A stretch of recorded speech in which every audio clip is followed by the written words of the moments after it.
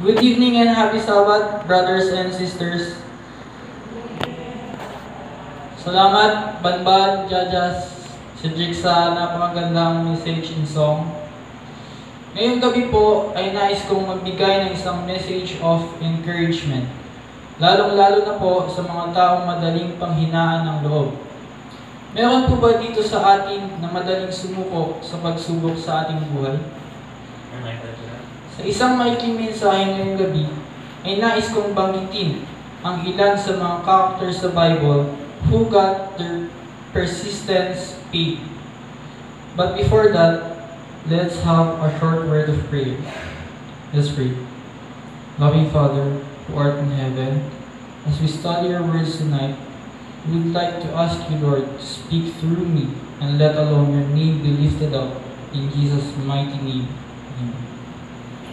Buksan po natin ang Book of Ephesians chapter 6 verse 18. It says, Praying always with all prayer and supplication in the Spirit and watching thereunto with all perseverance and supplication for all saints. So, bakit po natin kailangan mag-peace? The Bible is telling us in Matthew chapter 10 verse 22, And ye shall be hated by all men for my name's sake, but he that endureth to the end shall be saved. Tignan po natin ang buhay ni Jacob. Napakaraming pagkakataon sa buhay ni Jacob kung saan sinubukan ang kanyang pagiging matisin. Noong ma-fall si Jacob kay Rachel, hindi-hindi siya sumuko. He served Laban for seven years for the hand of Rachel. But after seven years, Laban gave in Leah instead. Jacob refused to let go of Rachel. He held on to his unfailing love. He worked hard for another seven years to win Rachel, and he came away with a cute bride. Another display of Jacob's persistence was when he wrestled with an angel all night until dawn. He refused to let go of his opponent, and he, and he came away with a blessing. So Genesis 32 verse 26, ang sabi, And he, the angel, said, Let me go, for the day breaketh. And he, Jacob said, I will not let thee go, except thou bless me. Another character na gusto kong banggitin ay si Hannah. Isa siya sa dalawang asawa ni Elkanah at wala silang anak. Ngunit, si Penina, yung isang asawa ni Elkanah, ay may mga anak dito. Kung kaya't, Si Hannah ay palaging tinutokso ni Penina upang yamunin ito. Hannah bent her knees to seek the Lord in prayer with persistence.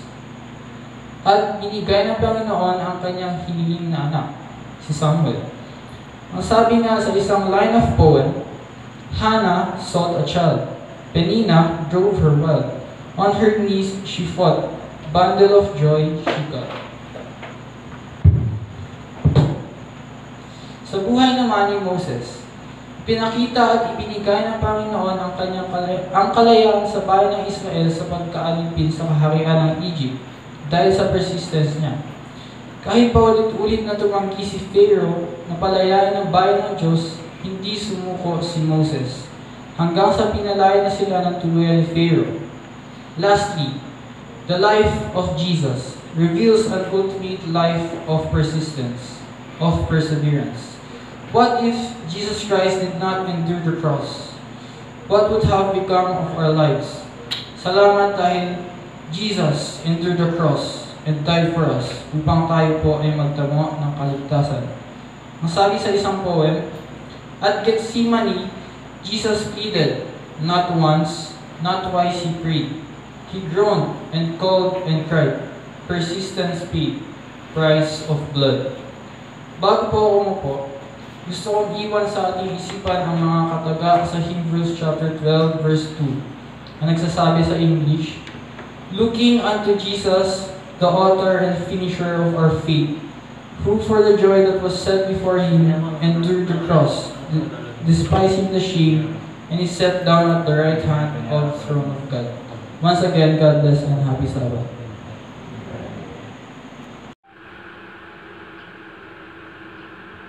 future.